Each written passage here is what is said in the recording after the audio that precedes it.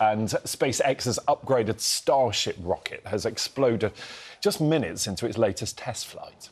So officials at Elon Musk's firm said the upper stage of the craft was lost after engine problems, but the giant reusable booster stage was retrieved successfully by the launch pad's robotic arms. There they are. See, this is the bit that is so incredible. Yeah.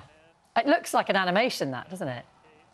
And that's the bit that makes it reusable, and therefore the hope is that it makes it much cheaper because aircraft in the Gulf of Mexico, they were actually diverted away from that area to avoid all of this, look, this falling debris.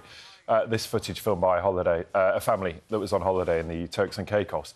Um, that in itself also looks incredible, even though it was a, essentially a failure. Yeah. That it did blow up. It, it looks incredible, also slightly disturbing. You don't want to be underneath that, do you?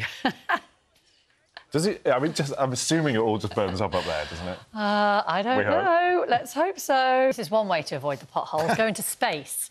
SpaceX's upgraded Starship rocket has, well, exploded minutes into its latest test flight. There it is taking off. Everything looked like it was going well.